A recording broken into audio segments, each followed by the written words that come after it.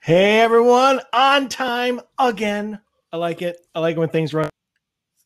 Uh, with me, obviously, um, I always call you Paranormal Sarah, but Sarah Son- Sonderland, Soderland, Soderland, Soderland, Soder. So there's no two O's. It's the little umlaut if you want to get serious, but Oh. my American keyboard doesn't have such such No. foolery. So I, I can't even I can't even do it. So um hey, you have something from Elon Musk pop I know. I'm sorry. That's all right. News from Elon. Tells you what I'm. so uh, everybody's gonna uh, greatly enjoy this this presentation and i'm gonna scamoose and uh prepare for next hour I think I know what I'm doing, but I don't. So hang in there I'm- and just make sure. I- Okay, be in the wings. I think you're going to be just fine and break into a presentation once this weekend and i don't want to do it again but i will if i have to Yeah. Okay. Hopefully that won't happen. Okay. we'll talk with you later Okay, guys.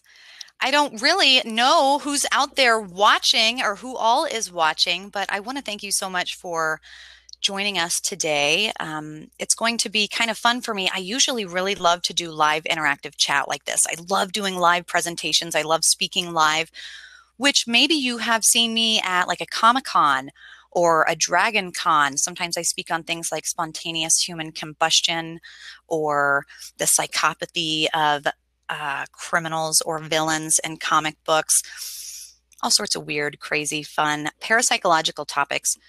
For me, um, my background, and we're going to get into it because I'm going to introduce myself in a presentation. I told Michael and the and the people here at uh, the Para Unity that I am not the most technological person. I will tell you that. Hi, Mike. Welcome. But I will give it my best shot. And with that, I have made a very special PowerPoint presentation where I just kind of want to walk you guys through. Obviously, what we're talking about today is creating a ghost in camera or ghosts as light or light energy as spirit energy. Title it what you will. I mean, it does have a formal title because I made a PowerPoint presentation, but it could be whatever title you want. Because I want to bring in um, topics of quantum parapsychology, uh, shameless plug for my book over there somewhere. And I also want to bring in topics of photography. I do own my own photography studio, and I've been doing um, professional photography for a long time.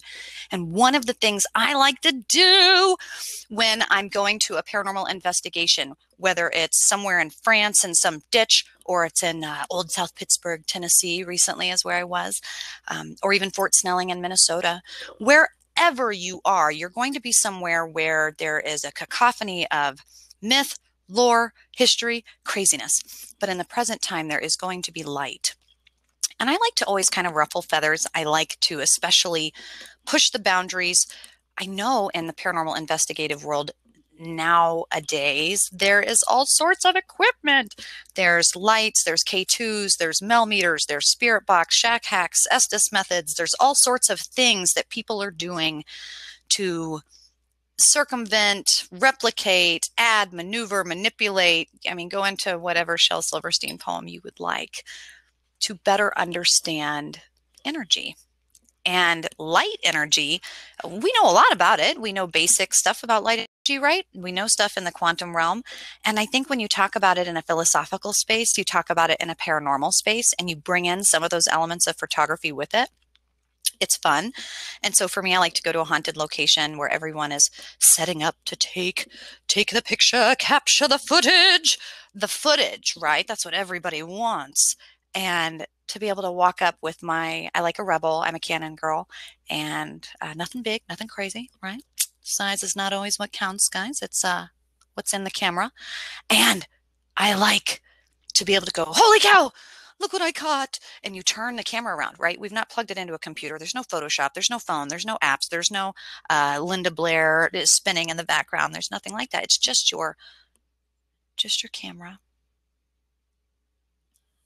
and there it is a shadow figure a shadow person uh, a big ghoul or a monster or something kind of piercing through the background and it's life changing for some people it is believing um, it is an adrenaline rush it is a ripple through a crowd of people. It is the seance sister's wet dream, if you will. It works. Visual representation, visual perception, right? We all are very big visual learners uh, nowadays more than ever. And we need something to stop us. And that in camera is pretty darn cool. But it's also really easy to do. It's extremely easy to do if, like we say in the photography world, everyone's a photographer until you go into manual. Um, can you drive a stick shift? Yes, I can. Can you use the camera in manual? Yes, I can.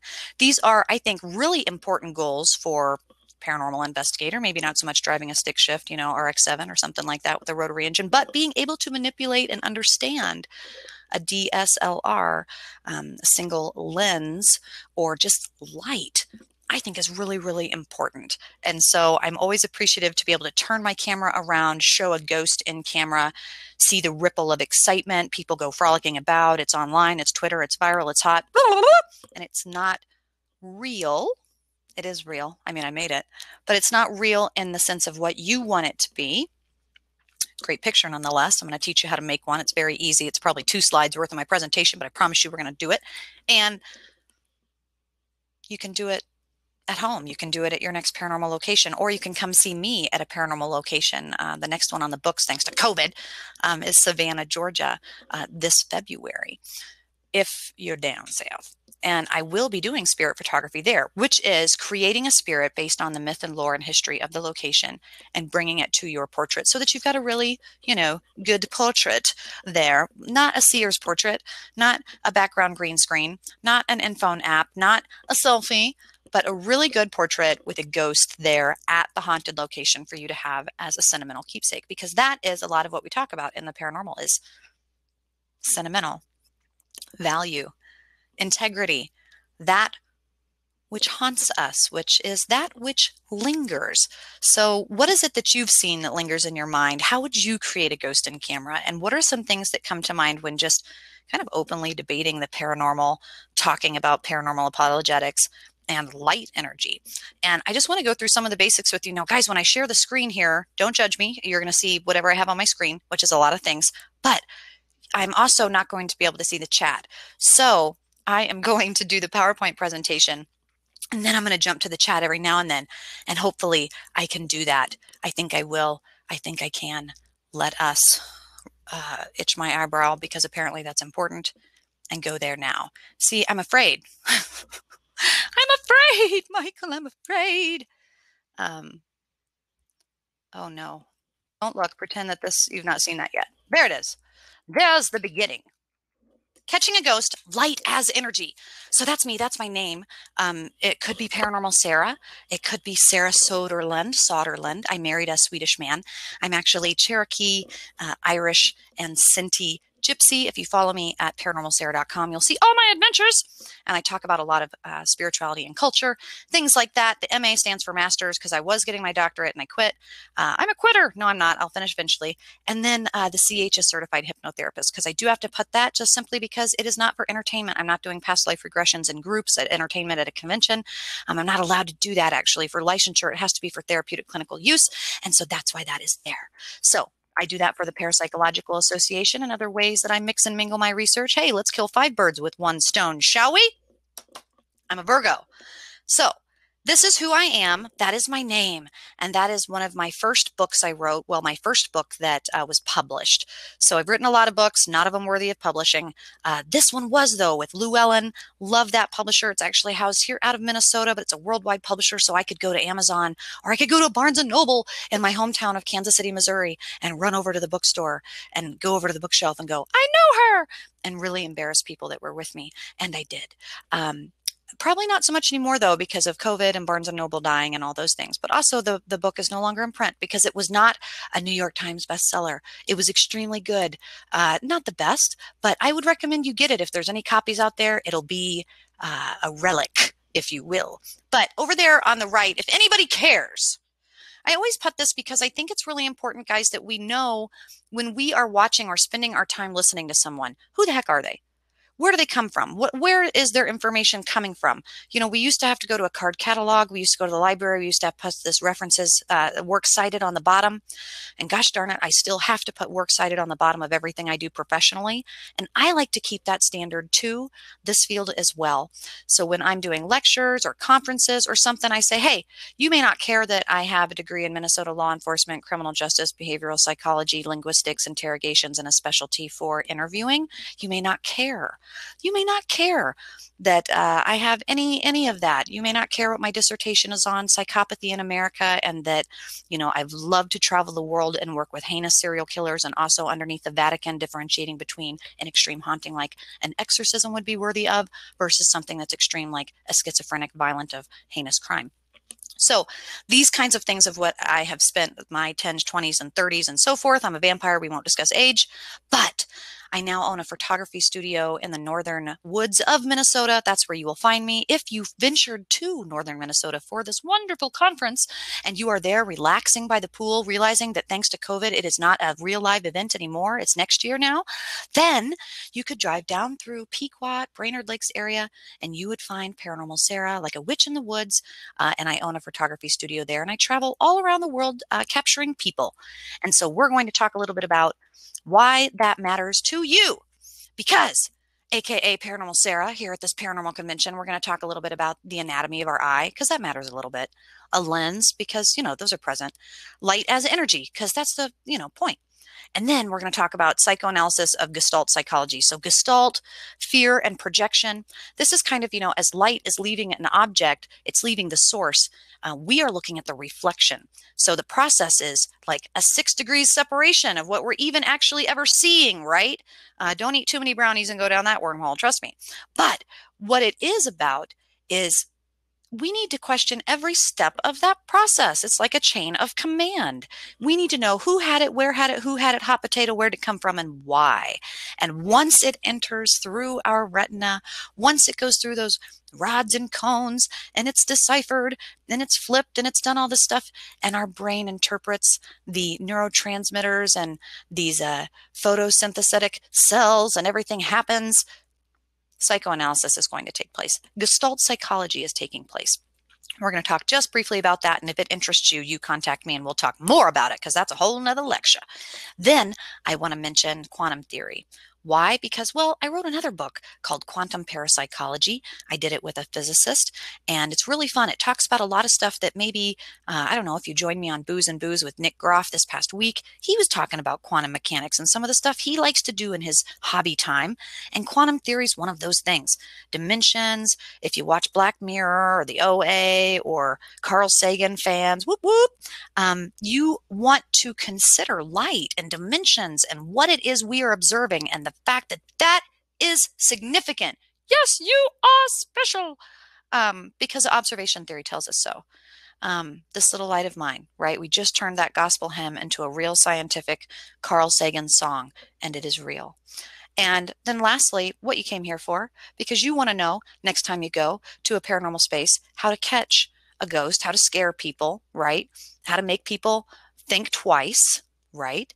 And also just have a cool sentimental uh, thing, right? You don't need no you don't need no app for that. You don't need no app for that. So really quickly, because I don't have a clock either. I'm just looking at my PowerPoint presentation. So we who knows what time it is. Is seeing believing? I don't know. Is it? I'm originally from Missouri, the show me state. So you better show me. And that's why we call it the show me state, is because back in the dueling times, it said, oh, yeah, you better show me. And so the, the, people would want to have that visual evidence. Now, even in a court of law, visual evidence is extremely important. Eyewitness testimony, extremely valuable. However, we also know that it's falsifiable. We also know that it's malleable. We also know that me, me, me, me, me, it's not always accurate as far as what we want accuracy to be. Accuracy to be something that is replicated, something that's measurable, something that's, you know, consistent. And energy is not that. I mean, it is, but it isn't. Ha! So I mean, into the quanta level.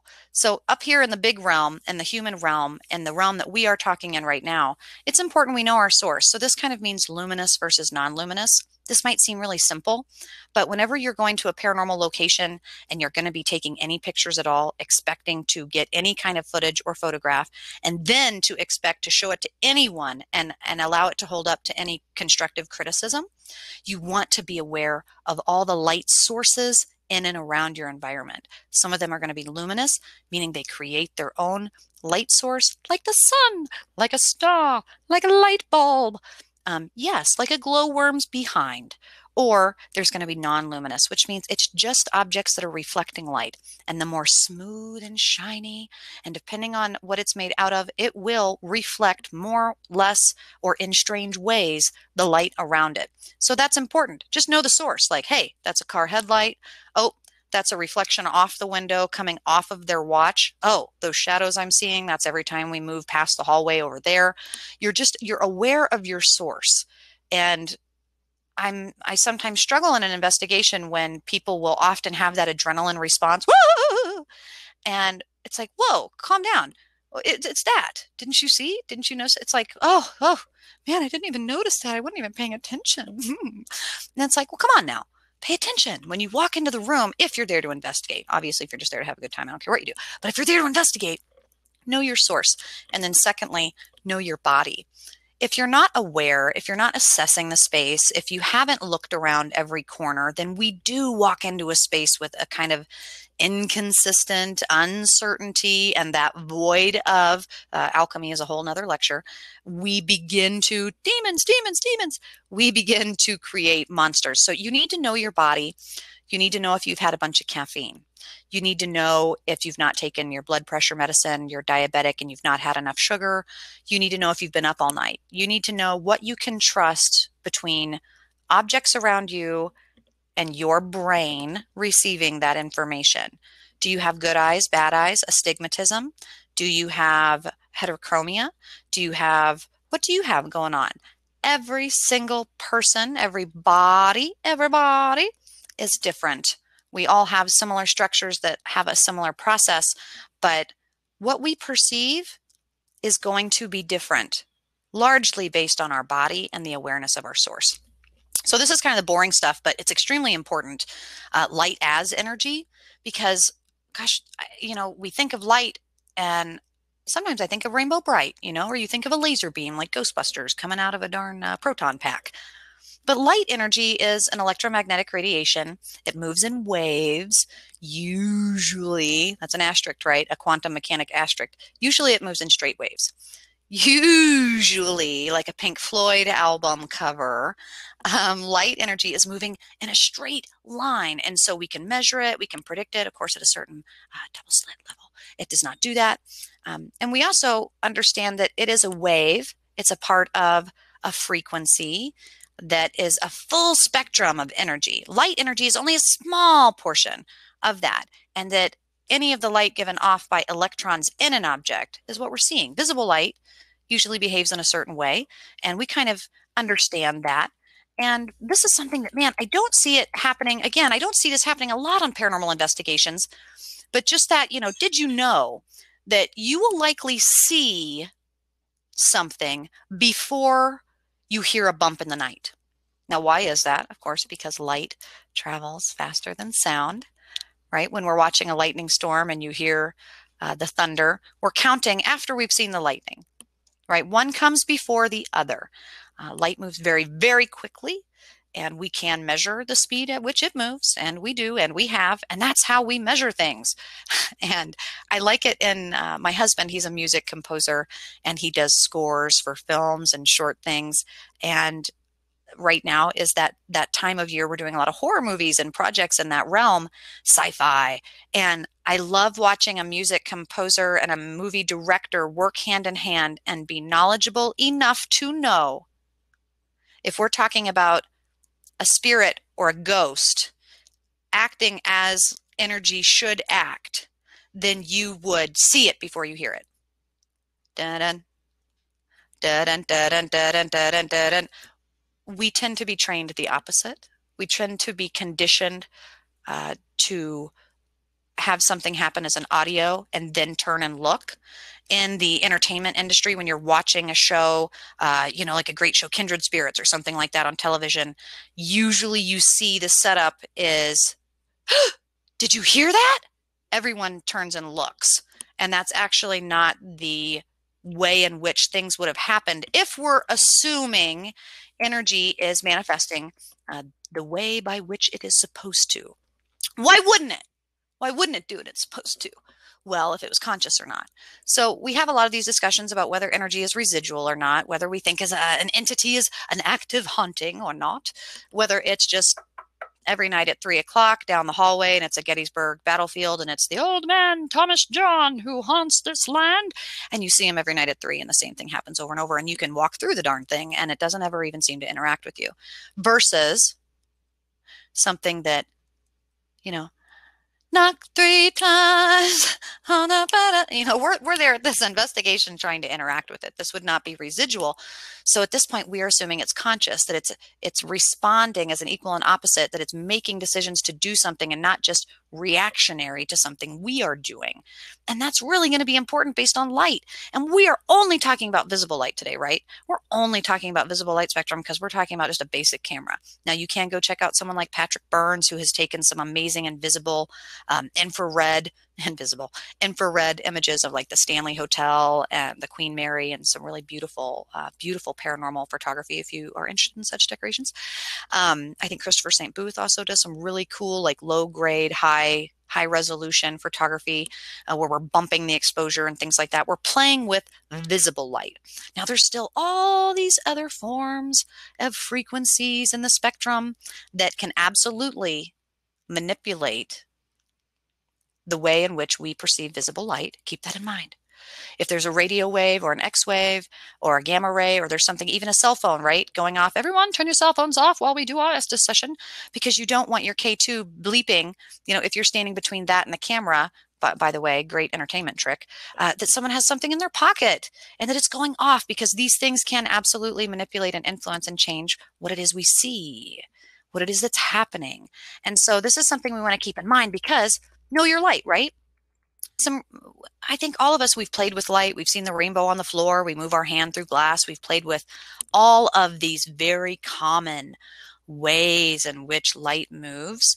Um, some of the behaviors, absorption. Yeah, objects don't uh, reflect or transmit uh, the visible light. They're not creating this thing. They're only reflecting the visible light that you're seeing absorption is an object that it's not reflecting anything. It's not transmitting anything.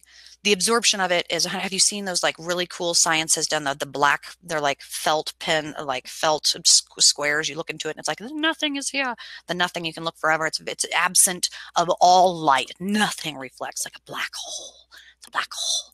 And that absorption is 100% right? And so we need to be aware of what is the absorption of every surface in our environment? Well, I mean, you can't possibly, I mean, you could, but just be aware of your absorption. What are you wearing? What absorption in your studio? If I'm working at the studio, what kind of background do I have? Is it a is it a background light? Is it a textured tree or is it a smooth, you know, infinity wall? In the darkness, when we talk about the absorption of shadow people, which I'm going to touch on here in a second, this is we would say all light energy being absorbed and yet that's not actually maybe what we are seeing. It could be not an absorption but a blocking. And so how would we know the difference between a creature or entity? And typically people kind of jump to it's demonic. It's like a black hole. It's a psychic vampire. It's sucking us all in. That it's an absorption thing which is why shadow people are so dark and vacant and void of light. Um, i would maybe the challenge that it could be blocking, which we'll talk about in a second. But man, white objects like near death experience, it was a bright light at the end of the tunnel. Oh, it's always angelic lights, right? It's always this really bright light coming. Oh my goodness. This is actually, or would be the reflection of all light energy, the reflection of all light energy. Now, if you're someone who's a very religious person, um, at paranormalsarah.com, you'll see at the top I have a Gypsy Tribe link. So I teach the occult, and you can join the Gypsy Tribe And we meet once a week and talk about actual alchemy and magic and spirituality and how to learn some of those things that like Michelle Belanger is talking about and some of these amazing lectures when we talk about protection and shielding and blocking this would be like with light energy with energy in general spiritually too.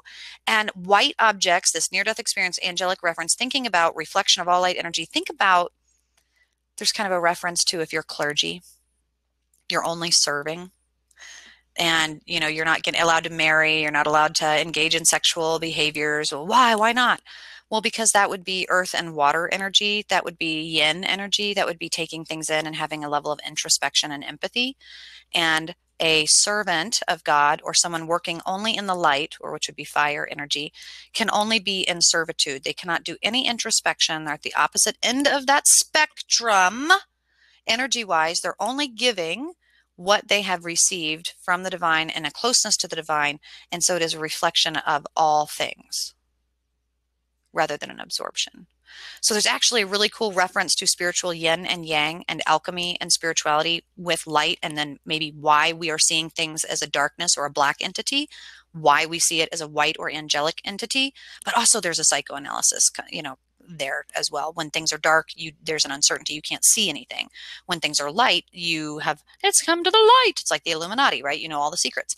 Um, there's so many different expansions on this, and that's why I love sacred geometries because it tells us that you can find it in something as simple as this presentation or something as complex as an experience you have at your next haunted endeavor, and it will all come down to energy. Um, what color you see? My orbs are all green. What does that mean? Um, well, if you know the red, orange, yellow, green, blue, indigo, violet, or that a witch would give you a green stone if you were struggling with a sore throat, or a red stone if you needed to get grounded. What kind of stone does it have to be? An emerald or a jasper? It doesn't matter as long as it's red. Why? Why? Because red light, we're talking that it's actually reflecting that wavelength. So all other wavelengths are absorbed. It's balancing your chakras, which move and go up the spine in what? Red, orange, yellow, green, blue, indigo, violet.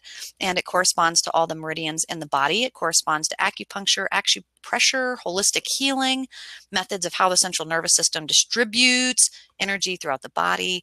And it starts with the eyes. It starts with how we perceive. And just like this little presentation, continued transmission, integrity, how light passes through something, if it's scattered, if it's reflected, if it's absorbed, all of this is happening times 20 in a single visual experience. So to be able to see something, an apparition of grandma, and go, it was grandma, I know for sure. Um, how do you know for sure? we need to go down this list and double check what colors are we seeing and why has it been something that was scattered off of a reflective surface was it an absorption was there a shadow was there any refraction because when we see light reflecting off of consistent matter it will bend when it goes from one substance to another. So when you see a straw in your glass of water there at the countertop you move around and at some point the straw will look broken. It's an optical illusion.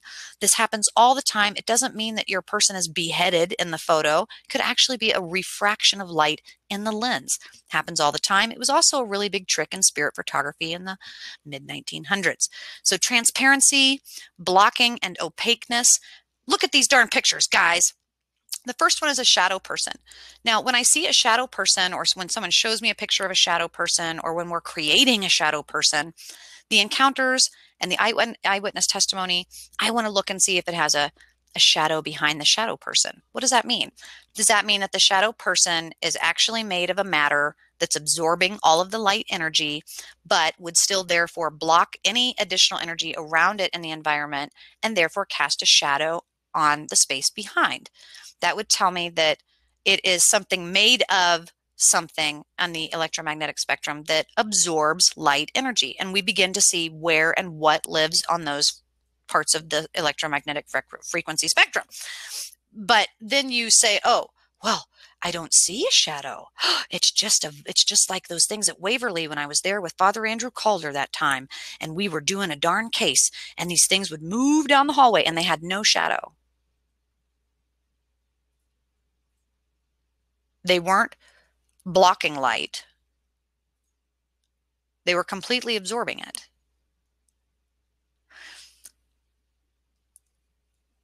So is it what they're completely made out of? Is it that they are a black hole sucking in everything and that there's no shadow? And oh my gosh, they've got like this gravitational center, and somehow yet we are still seeing a reflective of all light around them, and that's giving a silhouette. Are we looking at a silhouette? What are we looking at exactly? And what do we know about the light sources in the environment?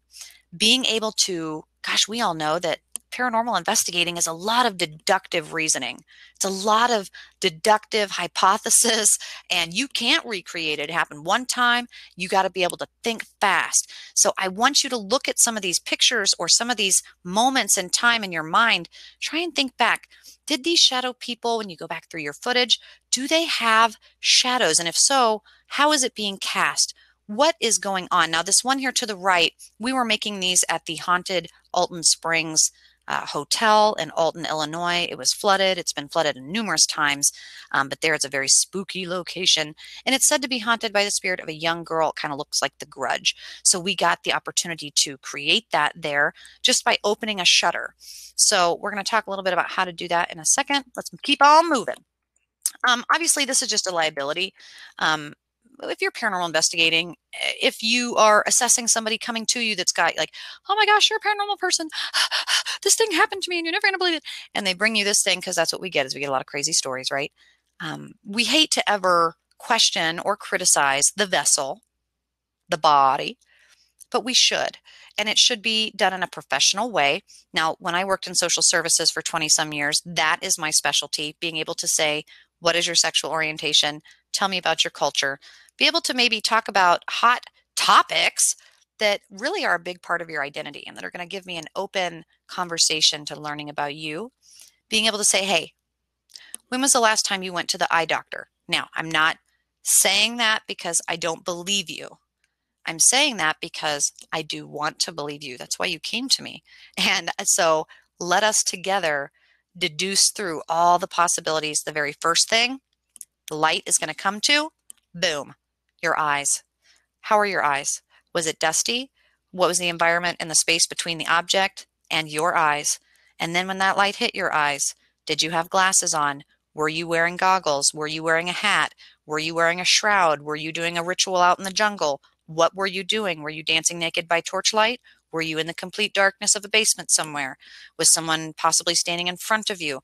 Um, did you have a clean lens? I gosh, I know that these sound like really silly questions, but I've asked, did did you clean your lens? And someone go, well, yeah. And I say, okay, when was the last time you calibrated your camera? What? When do I got to do that?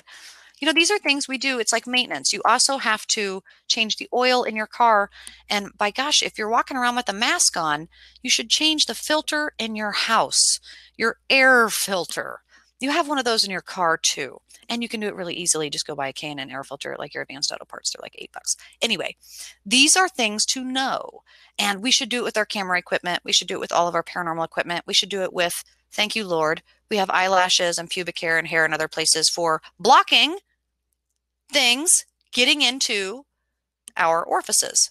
And eyelashes and glasses and things like this should be kept clean of all debris. Seems like common sense would just cover it. Common issues, though, because here we are at common sense with light spirits. Because that was a question like, Sarah, are you talking about light entities, fairies, ghosts? What are we talking about? Um, well, we're talking about all the things that are important to keep in mind when doing spirit photography because, yes, I do it. Like this photo here, this is a famous international Colombian DJ's named Julian. Uh, he's fantastic if you're into like raves, and he does some kind of darker music. And of course, sought me out as someone in the paranormal that also does photography and portraits. And we went to this really abandoned train yard with cool textures and had the opportunity to play with this um, scarf that his wife had and superimpose layers. So this was layering this is three different photos layered on top of each other with him standing very still. And I love the idea of understanding that if light moves and we are watching something, even debris through the air, we're watching dust particles or breath, smoke. You look at something like ectoplasm and some of the very common old spirit photos, and you know that they're long exposure technique is going to lead to common things that actually look like this. It's weird. We don't see this anymore because so many of our, our technological cameras and devices and cell phones have auto, auto, and it will do auto adjustment for light. ISO, things like this. But if you do have uh, underexposure or overexposure of light, you're going to start seeing streaming. You're going to start seeing things, moisture, uh, pollutants in the air, moving and manipulating what you see. Again, in the occult, like the Gypsy tribe, I got the shameless plug for that monthly thing that I teach. Uh, air, which is why in tarot, swords is like dun dun dun. Air magic is uh, is what's the word I want to use? Tumultuous, pugnacious, if you will. It's easily manipulated. It's it's crazy out there. Air magic. So we have to understand air spirit energy. It's why people think that fairies are fickle. But orbs, smoke, mists, ectoplasm, streams, strobes, replicable, predictable. If we understand how light moves and how light works and how light reflects and refracts, then yeah, it is pretty predictable. And actually, it's pretty replicable too. And that's fun because you can use a spray bottle like this uh, in the top picture and create orbs. What? I'm out in a cemetery. And you could be standing right next to a flag that's not moving and have your hair. I love it when the hair is drenched and laying down flat with a little bit of the same water bottle, get the hair wet so it's heavy. And then that way, it, nothing is moving and then you spray a little bit of uh, water in the air and take a picture. Do it a few times, and you will start to see orbs and mists as light moves through the air. Uh, if you want to make it even crazier, do it in front of the headlights of your car. Hey, that happens all the time at a paranormal investigation. Everyone, leave the headlights on while we investigate and trespass on this location. And then suddenly you're kicking up dust, and you take a picture, and from behind, the light source is behind you, and oh my God, look at all these demons! They're orbs. Um, when you see something that's spherical like this, it's very mathematical and, and geometrical, and we're looking at stuff, it's it's how light is reflected and refracted, and we're seeing colors. We see it as red, orange, yellow, green, blue, indigo, violet. We see the environment be red and purple, and then we start seeing blue orbs. Come on, guys. Come on. We need to be able to be smart and open because there's like Raffi uh, songs that we teach our children that's like primary colors. And you put those inks in your printer for the primary colors. And those primary colors give us all the range of the rainbow that we see. And when you look at an orb and then you look at the colors in the environment, do deductive math and go, this is a reflection or a refraction. This is probably not an orb or a ball lighting. And it's just us being skeptical. But what about Sarah? Don't bring me down. Don't bring me down. Don't bring me down. And I don't want to bring you down. I don't want to say that Mother Teresa is not visiting you at night you know, or that Elvis Presley's not there um, singing you and serenading you on the toilet. My truth is that if we understand all of how light works and we start seeing and, and visualizing and capturing amazing apparitions, strobes, ball lighting, uh, and we can deduce that it's not the environment. It's not my lens. It's not the water bottle I brought last time. It is something that might actually be a spiritual phenomenon uh, maybe not even spiritual. It could be something even phenomenal in the world. We see, again, light is electromagnetic energy, light as energy. And so when you're seeing static, when you're seeing friction, when you're seeing sparks, ball lighting is uh, it links us to spontaneous human combustion theories actually if you want to go down that wormhole but it's how manipulation of energy goes from kinetic potential to kinetic and, and we're taking friction, we're taking static, we're, we're talking about this electromagnetic spectrum of energy and how it's manifesting. And, and again, it does it in a certain way. The Mobius loop and that spectrum works in a certain way. And if we can watch the strobe and movement, we can measure the time, which, by the way, if you're going to fake somebody, and this is just from one faker to another, from one David Copperfield to a David Blaine if you're going to recreate this illusion, understand that you can usually go to a person's picture information on a file, on a data file, and that your camera is storing all the information the date, the time, uh, how long it took for you to take that picture, your aperture, all of that is stored. And even on your cell phone, everybody be very careful if you've not checked your location settings. If you have an Apple device, it's probably automatically doing it every time it updates. But your pictures will post your latitude and longitude for GPS on your picture info. If you right click on data info, if you're at any amount of a basic hacker, any photo online that's uploaded from a device, you can find your way to the data and you can find exactly when and where that photo was taken and how. And you can even see what app and the owner of the app or the hacker or downloader of the app. Um, so don't try it. It's it's actually quite easy to do. And uh, for that reason, we should be careful what we share online. Um, all in the mind. So this is kind of where I like to really live. Uh, parapsychology and psychology is really all in the mind. Guys, we're talking about going into the minds of a serial killer, talking about why is it that you're seeing a demon? Why am I seeing my ex-boyfriend at the end of my bed every night? I don't know. You tell me. You know, it's like a Sigmund Freud thing it's very important, and those in the occult community know that trusting your perception beyond anatomy, mind over matter, Doctor Strange, y'all, that you have to know how the physical world works. And then also, when that information, that light energy comes through our wonderful body, our vessel, through the retina, through again those rods and cones, it's going through the back of our optic nerve and into our brain, and it comes in, and we ah, have a visual. We are going to, it's going to pass through gestalt laws of Prägnanz. Think of a pregnant woman, laws of Prägnanz. There's nine of them, I believe. They're very simple. You are already aware of them.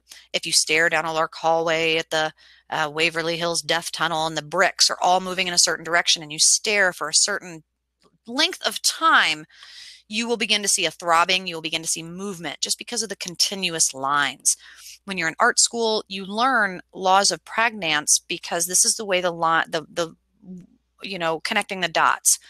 It's the simplest way that our mind will receive information. It's going to do it that way. It's Occam's razor. It's going to inevitably just do what is easiest, and that's going to happen.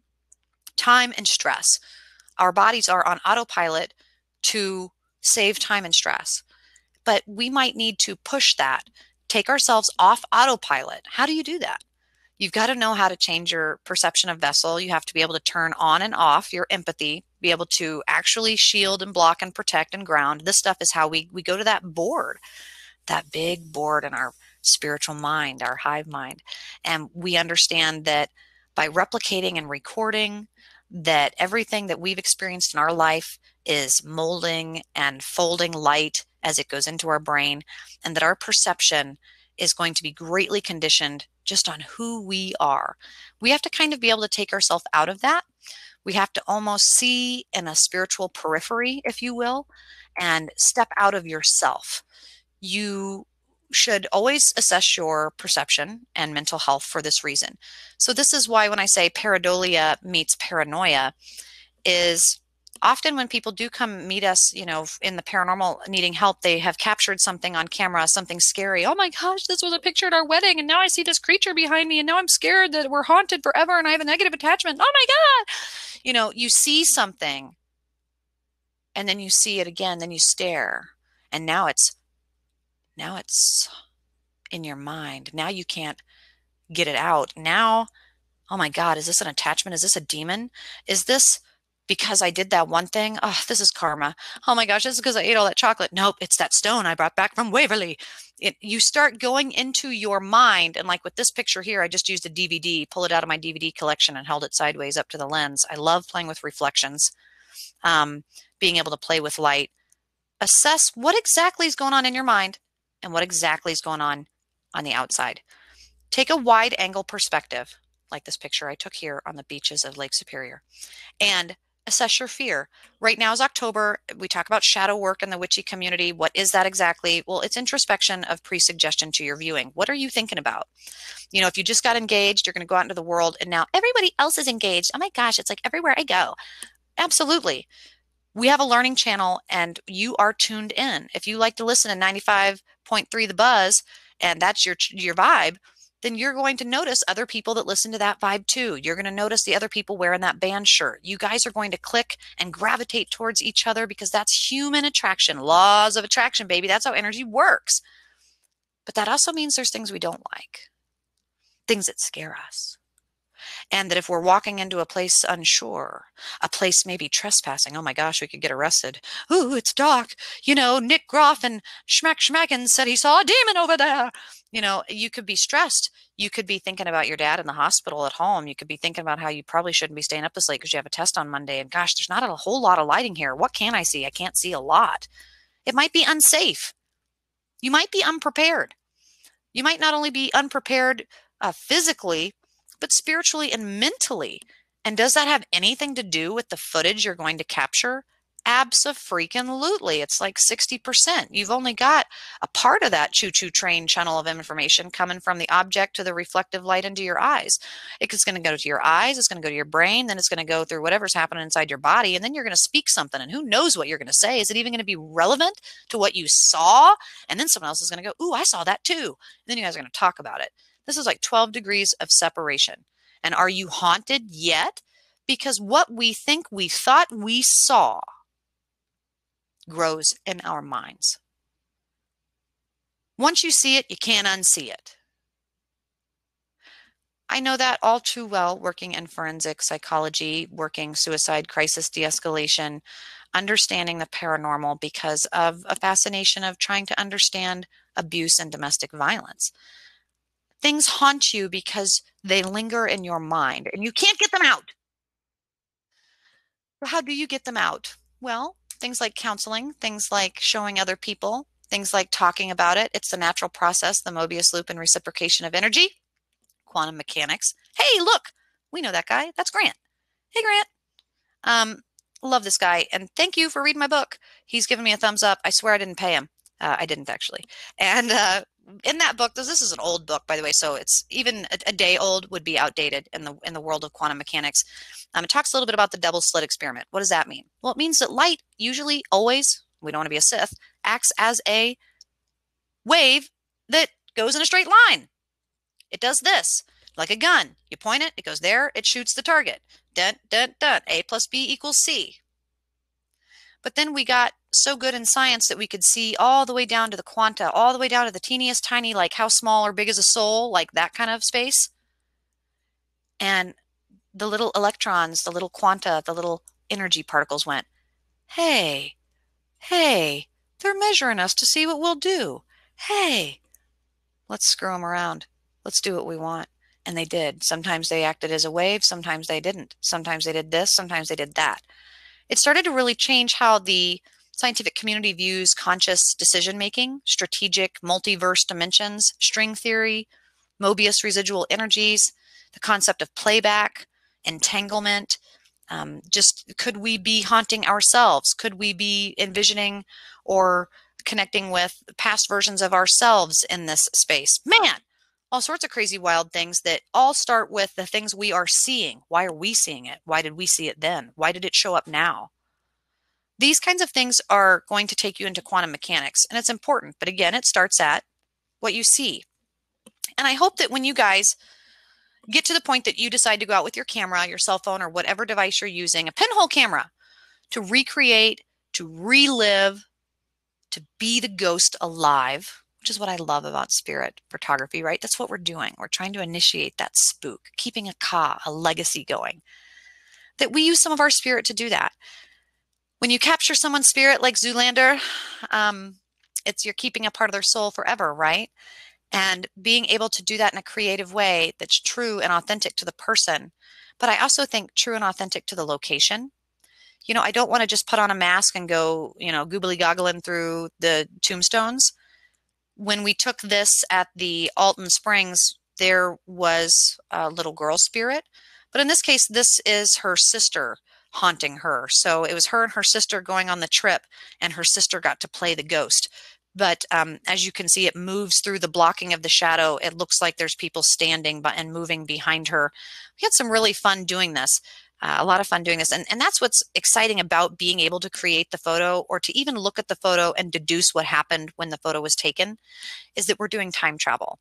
We're doing it as we plan for a future vision and we're doing it constantly as in hindsight we remember something and retrieve visual stimulus. And even in a physical space again sacred geometry is so beautiful it's macro as is micro. The old techniques of photography open shutters um, needing to use what light you have because you don't have electricity these guys out on the battlefield of Gettysburg did not have strobe lights and ring lights and their cell phones. They had to use what was available, what light sources were there, and their camera had to be very still. They had to be very still. And that meant that usually people are not smiling. Some of the best photos, meaning the ones that we kept and that were also sentimental and that have lasted, are the ones of dead people because they were a good subject.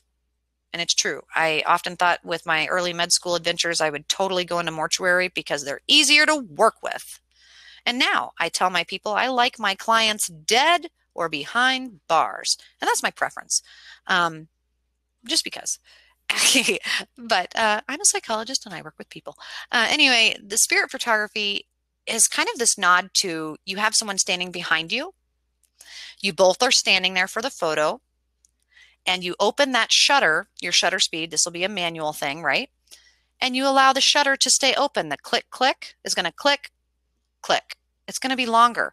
So you, as the subject, have to be very still.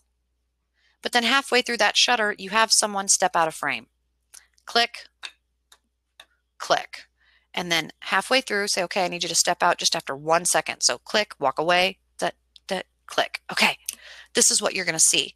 You're going to see an old time photo or a recreation of a photo where you could actually insert a spirit of someone you love. You could be down like at the left here at the haunted Belvoir Winery, haunted inn where light seeps in and these things kind of creep in through um, the windows and come down through the ceiling. This woman felt like it was very angelic. She was channeling kind of a, um, Archangel Michael. And we opened that shutter and just let her sit at sundown. And as the light seeped in and she sat very still on the chase, it moved and burned through the image in its own color and in its own way. It creates a very beautiful image. Or if it's dark at night, a lot of us showing up at a paranormal investigation to a beautiful landscape, a beautiful old architectural, historical building, set your camera down, right? Because even breathing, even our heartbeat is enough to move a camera, enough to break the focus you need for Nigel Barker on top model. You need a tripod or you need to prop it up on something. It doesn't have to be a tripod, just put it down. Put your shutter for 20 minutes Maybe you can't go that long. That's going to give you the stars and the Milky Way and the moon moving across the sky. But maybe just two minutes, maybe five minutes. Give it as long as you can and see what it looks like when you prop it up in a dark night looking at that building. All the cracks and crevices of the stone, the Freemason signature on the side. It's like the Hobbit. Things come alive. You start to see keyholes. If you have enough time, to set your camera down and let that shutter be open and it's at night, you can get some of the best pictures ever. And if you want to be fun, run through the, the, the lens, you know, at the last two seconds, it's open for five seconds and you, and you dart cross, you're going to see a darn figure running through the screen. You're going to have a ghost in your camera. It's all done with shutter speed. Whether it's like this, I'm crouched down outside. This is taken at 10 o'clock at night. This was my book. I wanted to have pictures of my book um, for promotional reasons. So I go out, I crouch down in the driveway, people. No light except a street light that's maybe 50 yards away, very dark. You can't see anything. Your camera won't want to focus even on the details of the book, which is what was most important. You stay very still. Everyone stays very still. Tripod, put the camera down, still, everybody still. Okay, good. Click that shutter stays open and man you just shake your head shake your hair shake your face. You'll see a distorted face in there that's pareidolia. If you stare too long you'll start seeing witches and things. But you can also add a light source put your cell phone down put it underneath the crystal ball. Put a mirror down. Put uh, take a compact if you're a woman or a man and have a darn mirror in your pocket. Pull it out and use that to add light. Your flashlight is on your cell phone. Your cell phone also, you can download strobes, you can download background um, hues, but you can do just about anything. You can uh, hold a darn pantyhose over your lens or take a piece of a Mountain Dew bottle that's sitting as trash in the back seat of your car, take a pocket knife, cut a corner of that thing off where you got a little piece of plastic and just put it over your lens. Put it over half the lens Give yourself a half and half and bring a concept to life. And you can do it all in camera by manipulating the light. So, what I love here, this is standing right outside of the downtown of New Orleans, and we're there sitting, meditating on the sidewalk. And it was really fun because I had it stood up, I had my camera, and I was there for a ghost tour. Um, and people are walking by going, What'd you get? Did you catch anything? And all I had to do was press the playback button. And there, moments before, my friend was shaking in front of the screen, and you could see her face and everything. And people just freaked out. They wanted me to send it to them, they wanted a picture, they wanted to know how I did it. And it really is intriguing. It's not only entertaining, but it's a teaching lesson for people of any and all ages, which I think is fun if you're looking to kind of, you know, pep up your own time in a space that might be kind of boring, or if you're at a conference and you want to add a little extra spice. These are all pictures taken in camera with the shutter closing your eyes, opening your eyes, closing your eyes, opening your eyes, putting really dark, even shiny eyeshadow on the back of your eyelids. If you don't have money or you're like my husband, you can't put those crazy contacts in your eyes because it makes you crazy, just do some crazy eye makeup on the back of your eyelid, right? And then flip your eyes up and down.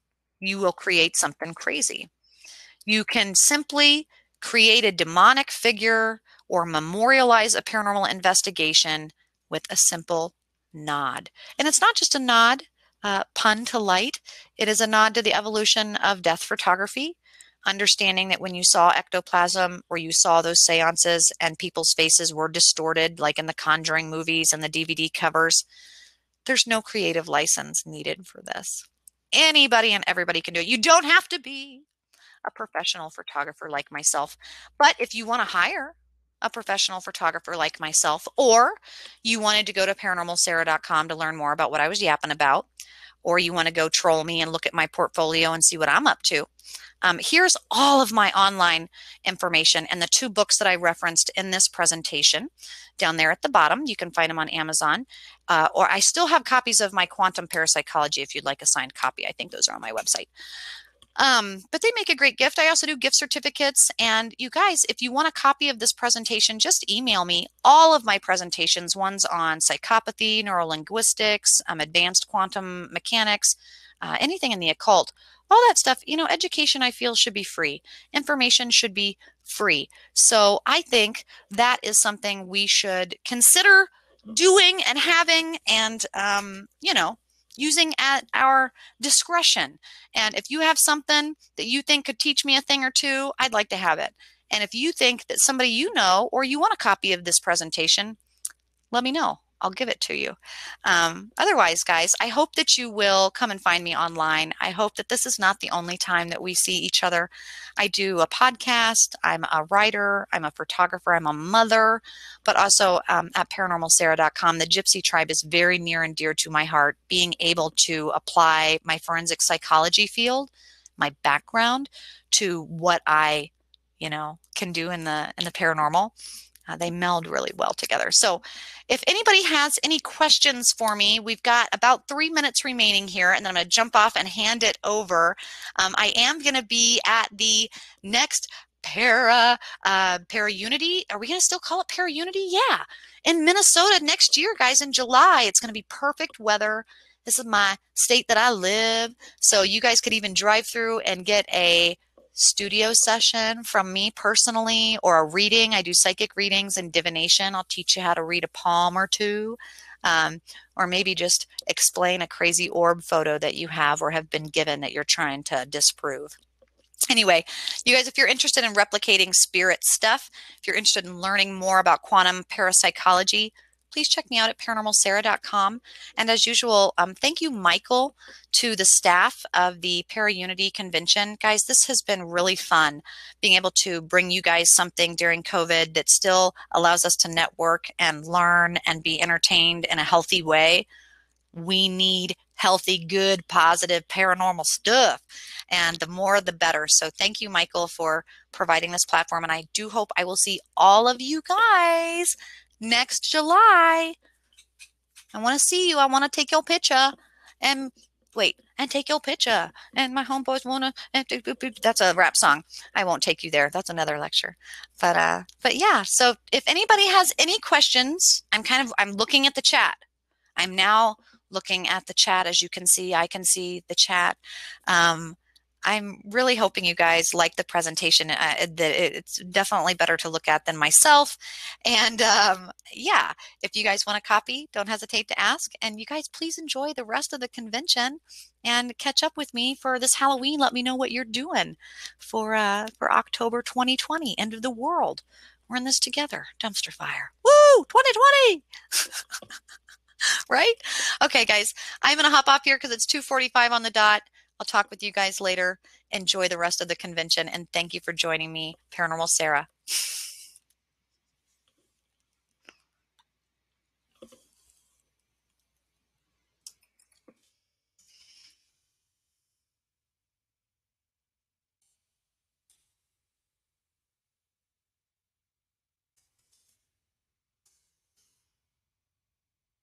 You know, he says that I can now go to my booth but I have a virtual booth.